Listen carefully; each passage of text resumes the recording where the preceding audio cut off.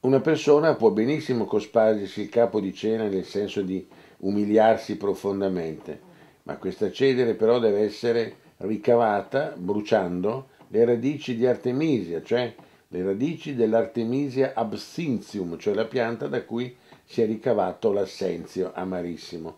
Con questa cenere e non con un'altra, il generale trionfante a Roma dietro aveva uno schiavo che, mentre gli altri lo, gli decretavano il trionfo, gli spargeva il capo di cenere e diceva ricordati che comunque sei soltanto un uomo. Thank you.